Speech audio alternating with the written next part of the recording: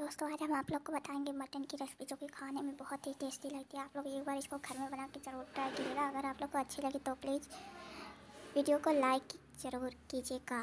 तो चलते हैं हमने वीडियो की तरफ़। ये देखिए देखने में कितना टेस्टी लग रहा है। ऐसे ही आप लोग बना के ज़रूर खाइएगा एक बार। ये मैंने बारीक कटे हुए प्याज ले लिए हैं। उसके बाद मैं, मैंने मिर्ची ले लिया लहसुन है इसमें। और इसमें दो तेज पत्ते डाले हैं। उसके बाद ये गोश्त है मेरा। उसके बाद हम इसमें तेल डालेंगे। तेल डालने के बाद हम इसमें डालेंगे सजीरा पुकटक दाना, तेज़पत्ता, लौंग, इलायची, दालचीनी सब डाल देंगे अच्छे से। हम इसमें भून देंगे। इसको हम थोड़ा सा रेड ब्राउनिश करेंगे। ये जब तक अच्छे से ब्राउनिश ना हो जाए, इसको हम अच्छे से कर लेंगे। फिर हम उसके बाद इसमें प्याज डाल देंगे। प्याज, लहसुन वहसुन सब इसमें डाल देंगे। और इसको हम पाँच मिनट तक अच्छे से भुनेंगे।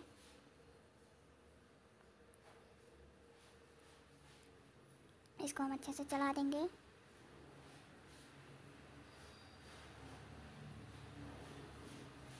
बहुत ही कम समय में मैंने इसको बहुत टेस्टी बनाया है। प्लीज़ आप लोग इस बार ज़रूर ट्राई कीजिएगा इसको। अब हम इसमें नमक डाल देंगे।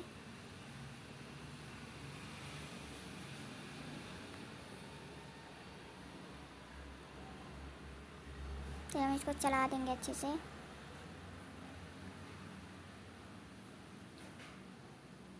चलाने के बाद हम इसको थोड़ा सा ढक देंगे दो मिनट के लिए। फिर हम इसको खोल कर अच्छे से देखेंगे हम लोग का प्याज पका है कि नहीं। प्याज पकने के बाद हम इसमें डाल देंगे अपने गोश्त। आपको जितनी बनानी हो उसके हिसाब से डाल लेना सब।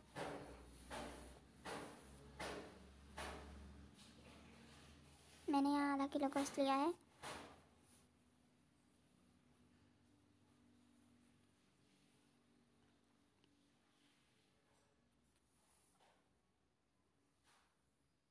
अब हम इसको अच्छे से चला देंगे।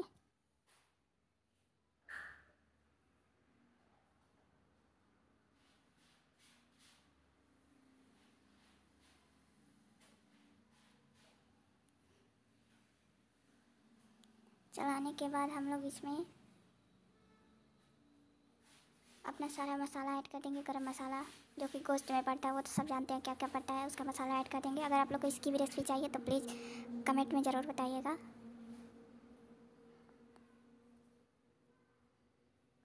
अब हम इसमें हल्दी डाल देंगे।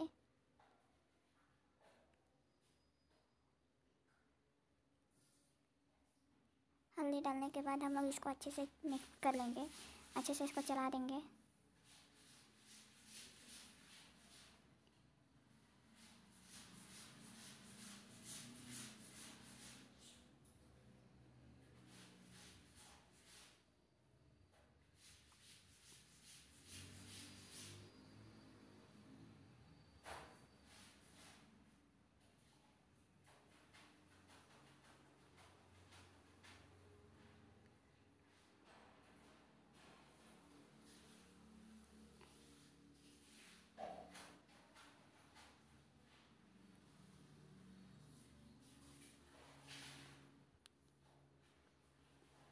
चलाने के बाद हम लोग इसको थोड़ा सा ढक देंगे।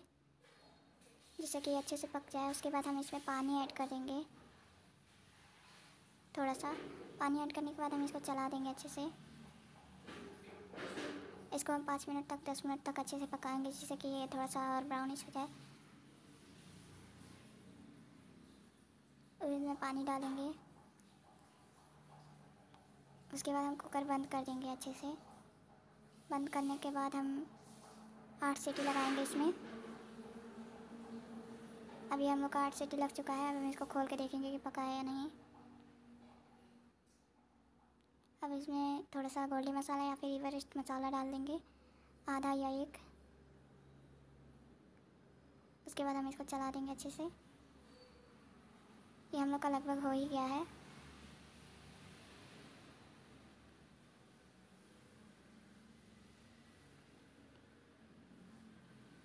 अब हम इसको आधे घंटे के लिए ढक देंगे ताकि ये अच्छे से और इसका रस सारा हो जाए, अच्छे से बढ़िया से ढक देंगे इसको हम। और हम इसको गर्म गर्म सर्व करेंगे रोटी या चावल के साथ। मैंने चावल की रेसिपी भी अपने चैनल पे अपलोड की है, प्लीज़ ज़रूर देखिएगा।